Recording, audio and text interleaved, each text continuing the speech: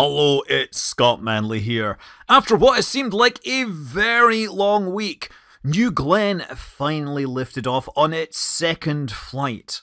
While the primary goal of the flight was to launch the pair of Escapade spacecraft which would ultimately go to Mars, they were also planning on testing the landing capabilities of the New Glenn booster. This was seen to be quite a long shot, hence the name of the flight being Never Tell Me the Odds, a reference to Empire Strikes Back, where C3PO points out that the odds of successfully navigating an asteroid field are approximately 3,720 to 1, to which, of course, Han responds, Never tell me the odds. Now, there was no asteroid belt involved, but this was merely the people at Blue Origin setting uh, expectations for what they believed was a risky maneuver to attempt to land this booster.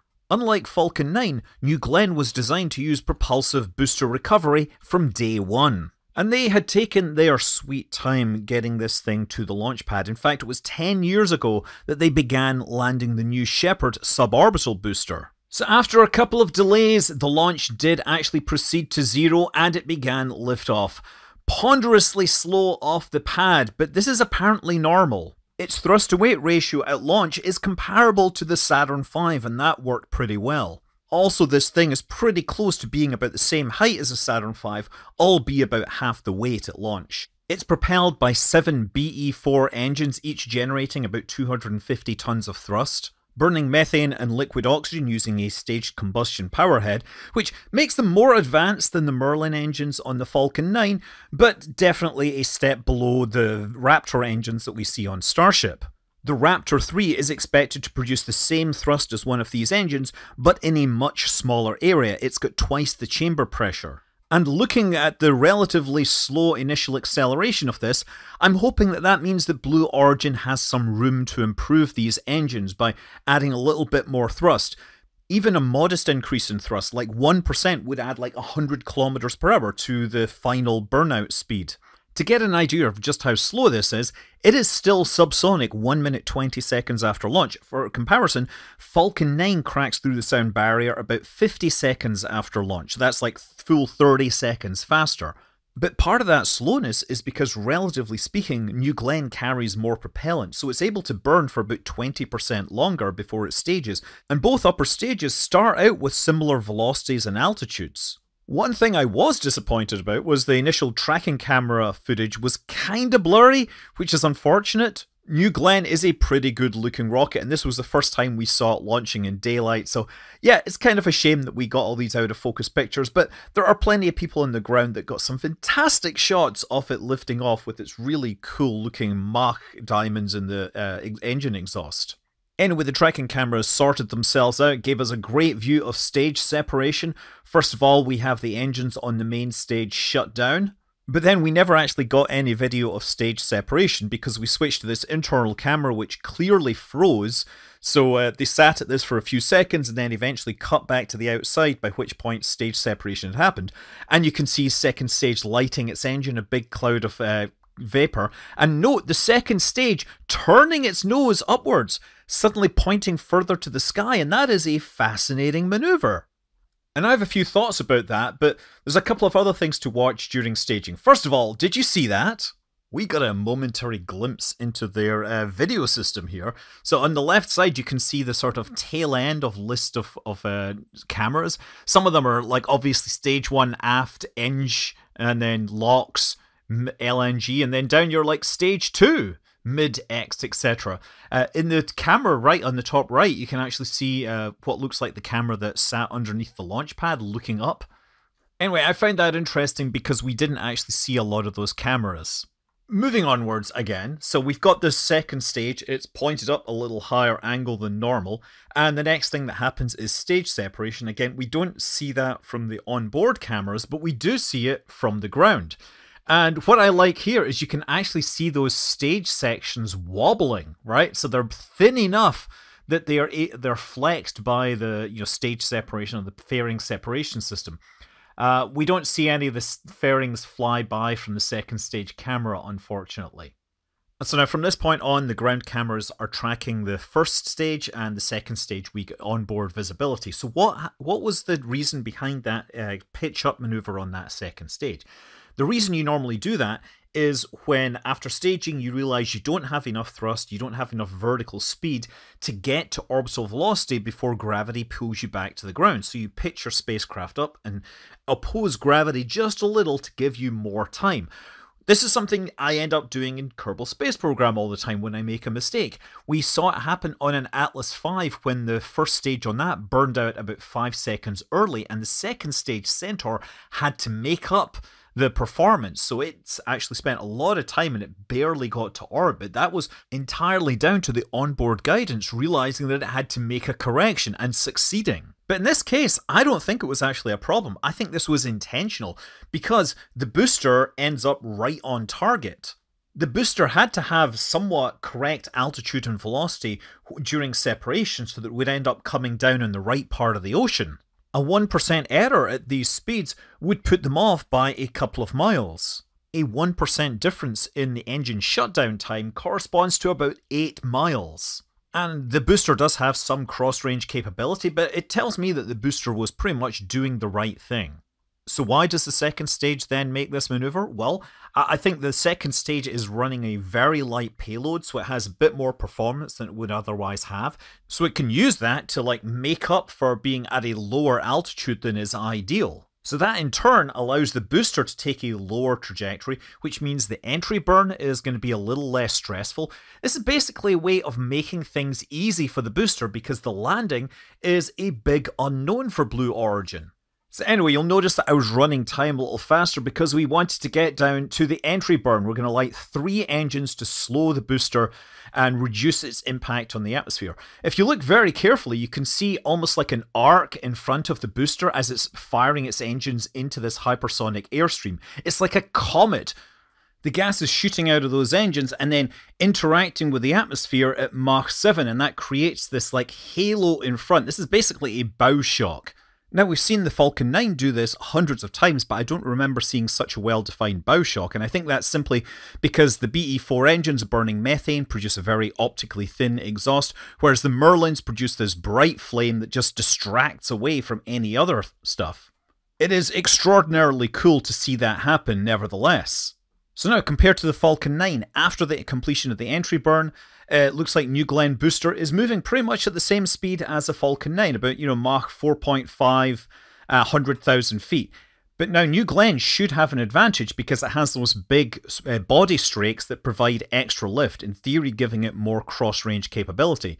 So we now watch this amazing tracking shot and I think this would have come from one of NASA's WB-57s, possibly November 927 November Alpha which was flying in the vicinity at 45,000 feet. That means it starts to look down on the booster as it descends. This is a gorgeous shot of this. And I assume the attitude is more or less consistent with the horizon, so you can see the kind of angle this is taking down through the atmosphere. As it goes transonic, you see some vapor cone effects, and then you see how it pitched down there? That's it getting ready to light its engines. For the initial deceleration, it's firing three of the engines, and unfortunately for us, it's descending towards the clouds and we lose it. But thankfully, they did have cameras on the booster and on the ship. So this is one of the cameras on the booster. It's obviously in the middle position, looking down. And the best part of this is you get to see some tracking over the ocean and the landing legs deploy. And then we cut to what must be a drone hovering next to the landing ship. And that puff of steam next to it made me think it had missed. Because it had, in fact, missed intentionally. We got one frame from this 360 camera, and then we saw it actually landing on the barge, more or less live. Now, unfortunately, during this process, it's generating a giant cloud of smoke that we can't see anything. I think that smoke is from the uh, the paint that was on the deck of the barge, because as the smoke clears, we do indeed get to see the booster sitting practically in the middle of the deck of Jacklyn. It, well, it came from orbit, it slowed down, it hovered, it translated, and it nailed the landing. And to be sure, they do this. They literally nail it to the deck. Okay, it's not quite nails, but there are pyrotechnic devices in these landing legs that are basically connecting the landing legs to the ship via welds. So this appears to be something that Blue Origin patented uh, a few years ago. There's actually a couple of variations on this, but I believe it's the one that has this pin, this uh, stud that gets pushed down and it goes into the deck. Now, you might think, well, aren't they going to have to like cut these legs off the deck? Well, the way it's designed is they can actually unscrew or unbolt these particular things and lift the legs off, and then they have to go through and remove these things from the deck and recondition the deck. There is another design that they patented which seems to use flat discs, but I don't think they use this one because we can actually see these big uh, barrels like sticking up from the landing legs. Another thing I hear, by the way, is that these landing legs are too small and short compared to the big ones on the Falcon 9. If you actually do the measurements, this has a wider base than the legs on the Falcon 9 because the Falcon 9 uses four legs, whereas this uses six, and that means they get 21% extra you know, base size. This, of course, is some authentic reactions from the control room, watching everyone get all excited. Meanwhile, of course, the second stage is still flying onwards to orbit. So before I talk about the second stage, I want to talk about why the booster missed the barge. It was intentional, right? The New Glenn booster is able to hover on a single engine. The Falcon 9 is not able to do that. It can't throttle low enough. So it has no option but to aim straight for the barge and then you know, perform the hover slam. New Glenn, they were able to put it like to a spot next to the barge and then once they were sure that they had the booster under control, they could slowly like traverse it over, translate it over, and then descend onto the barge on a single engine. Now, this whole process took like an extra 20 seconds or so, during which they're probably burning about 500 kilograms of methane per second. So that's like an extra 10 tons of propellant, right? That is a relatively small proportion when you consider that the whole first stage is probably over a thousand tons when it's fully fueled. So again, we see that the landing profile was intentionally chosen to be conservative to give them the most options. And they, in the future, they will be able to optimize it. They will be able to move towards something that is closer to a hover slam once they are sure of their design. And they're probably going to need to do that if they're going to reach the actual payload limits that they have uh, you claim that they're able to do. The other thing the hover let them do was precisely put it down in the middle of the barge. Here's a before and after image. Obviously, the paint has been blown off, but you can see this you know, kind of, kind of fading back and forth. That they were pretty much smack bang in the middle of that circle. And speaking of circles, a few minutes later, they did in fact reach orbit successfully, but this is, of course, their initial parking orbit. They were going to orbit around until they were at the equator before performing their departure burn to push them into interplanetary space, or actually near interplanetary space. This maneuver would boost the spacecraft up into a trajectory which would take them around the Lagrange points and would be designed to come back in several months, essentially right in the middle of the next Mars window, so that they would then swing by the Earth really close, and then the spacecraft could fire their engines and place them onto the actual Mars encounter trajectory. Now, this does mean that the spacecraft are needing to use more propellant, they're having to sit in space longer and, and exposed to more radiation, but it does mean they get to test this new technology, and Blue Origin were very interested to test their rocket, and then finally, there was some concern among the team members that uh, maybe the mission might get cancelled if it's sit on the ground too long. So both spacecraft would separate at around the 33 minute mark. We didn't get good footage for one of them, but uh, the second one, uh, yeah, it, we kind of got some imagery of it disappearing. Now you see it, now you don't. And of course, the next person that sees these will hopefully be out at Mars. As of today, I know that they got in contact with them from the Deep Space Network, and uh, the spacecraft are healthy. Finally, we got introduced to their little autonomous service robot. This thing drives around the deck and it's going to move around to where the umbilical connectors are and connect to the booster so that it can be saved. One of the things they want to do is offload any remaining propellant, any fuel, because they don't want to just vent the fuel into the air. That's not great. I'm not sure if they collect it in tanks or if there's just like a flare stack on the ship that they can use. Once that's done, it's supposed to be safer for humans to approach the barge, And we don't actually know if they've done that yet. The last I looked, the barge was still drifting south. So we don't know how much work is involved before they can start bringing it back to port. Now, we did see an image which was clearly taken from a service ship published by Jeff Bezos. And from this, you you know you can see it sitting in the center of the barge, and on the left, uh, you can see the uh, little uh, robot which is connected to the umbilicals apparently. And if we pan the image up to the top, you can see the little pusher rods that are used during stage separation.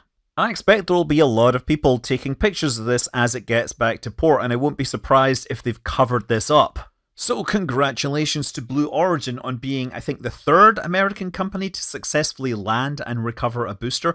Obviously, we've had SpaceX and we've had Rocket Lab who have recovered electrons, but they've only reused parts of them without a whole booster.